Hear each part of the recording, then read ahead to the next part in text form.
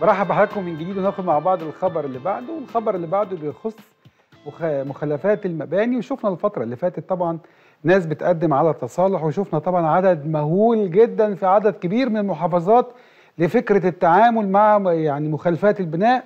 وطبعا الأمور واخد شكل بطيء شوية. الخبر بتاعنا بيقول ابلكيشن جديد على التليفون المحمول لتقديم على التصالح في مخلفات البناء فقد كشف اللواء هشام أمنة وزير التنمية المحلية على وجود تنسيق بين وزارة التنمية المحلية ووزارة التخطيط لإتاحة ابلكيشن للتقديم بطلب التصالح. وعشان نعرف تفاصيل أكتر معنا على الهاتف دكتور خالد قاسم مساعد وزير التنمية المحلية والمتحدث الرسمي باسم الوزارة. صباح الخير يا فندم. أهلا أستاذ مايكل صباح الخير على حضرتك وعلى الأستاذة نرمين على كل أهلنا في محافظات مصر يا فندم. دايما يا فندم منورنا في صباح مين؟ آه يعني شرف ليا يا فندم. في البداية دكتور عايزين نعرف إيه فكرة application موجود على الموبايل اللي أنا أقدر أقدم على التصالح يعني دلوقتي أقدر وأنا قاعد في البيت دلوقتي أقدم على تصالح ويا ترى ال application ده هيكون متضمن يعني إجراءات أقدر أخلصها بسهولة؟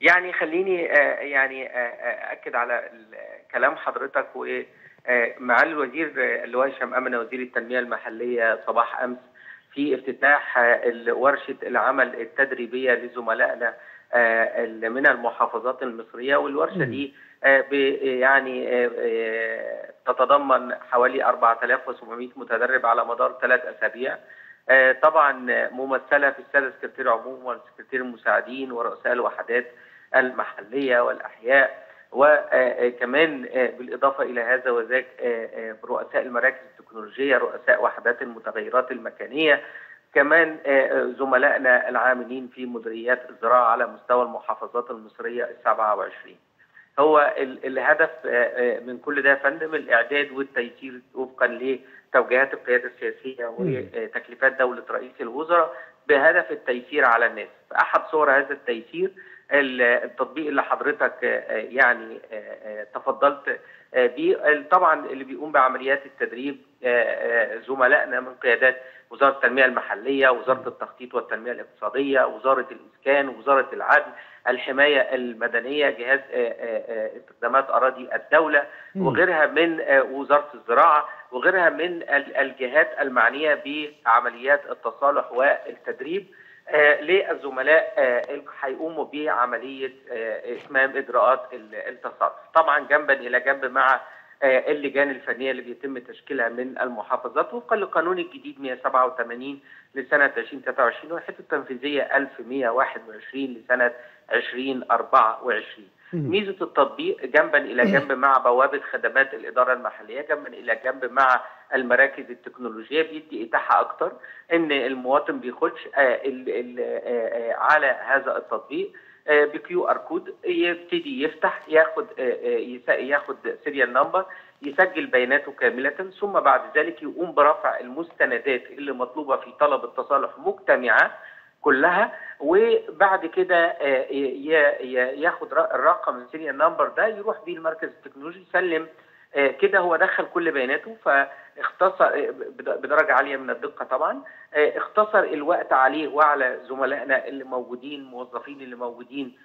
في المراكز التكنولوجية لأنه بيستخدم منه على طول بال serial number هيفتح قدامه هيلاقي بياناته كاملة صورة من المستندات بياخد أصول المستندات وبعد كده بيدفع رسوم الفحص آه، وإذا كان في أوراق ناقصة بيقول له إن في أوراق ناقصة يستكملها آه، آه، أوراق كاملة على طول بيتم مخاطبه الجهات ال- تقريبا يا. دكتور إمتى ال application ده هينطلق؟ وتقريبا كمان الوقت اللي بيستغرق.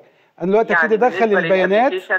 إن شاء الله من بعد 5 مايو بإذن الله تعالى هيكون ال ال ال طبعا لأن دي الفترة البينية ما بين إصدار اللائحة وعملية التطبيق من بعد 5 مايو هيكون الابلكيشن موجود وهيكون آه، آه، باب التصالح آه، إن شاء الله اتفتح. بالنسبة لل بالنسبة لراغبي التصالح في المحافظات المصرية. طبعا الفترة في حدود 60 يوم. إذا كانت الأوراق مكتملة وتم آه، سداد آه، رسم التصالح ومفيش أي حاجة ناقصة آه، بيمشي في الإجراءات في خلال 60 يوم عمليات ال- التصالح. بعد كده إذا كان آه، حضرتك عايز تقسط بتاخد حاجة اسمها نموذج آه، آه، سبعة. لو توافق على التصالح من اللجان الفنية خلاص تماما. لو حضرتك عايز تقسط بتاخد نموذج سبعة ده بيسمح لك آه، لك اتاحه للتقسيط حتى خمس سنوات. يعني يعني في آه، البداية يا دكتور بيحددوا المبلغ وبعد كده نتفق لو في اوبشن التقسيط أو لأ. بالظبط. بس قبل برضو ده أنت حضرتك تكون الأوراق كلها مكتملة واللجان الفنية آه، أقرت بصلاحيه ال- ال- التصالح لو عايز حضرتك طبعا تدفع كاش بتاخد خصم 25% على إجمالي المبلغ وبتاخد نموذج 8 لو في لا قدر الله أي قضايا أي حاجة آه، نموذج سبعة بيوقفها إنما نموذج 8 بتقدمه فبينهيها وبيزيل أثرها على ال- اللي هو عليه ال- ال- المخالفة دي. دكتور شايف إن الأبلكيشن ده هيسرع عملية الإجراءات اللي كانت بتاخد وقت طويل في فكرة التصالح؟ هو كمان هيسهل حي... لما حضرتك بتدخل بياناتك بنفسك بتكون أكثر دقة.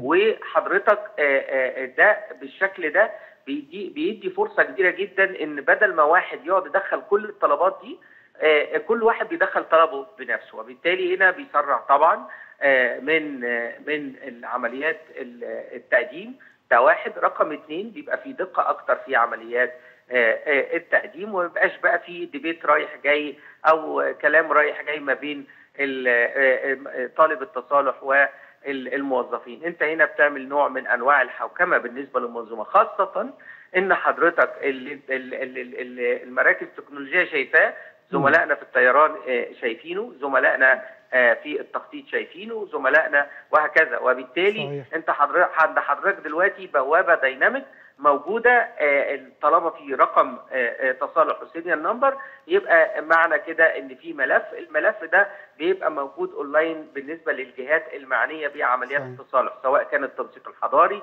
الري الزراعة الطيران مزيد من النجاح والتقدم دكتور خالد قاسم مساعد وزير التنمية المحلية والمتحدث الرسمي باسم الوزارة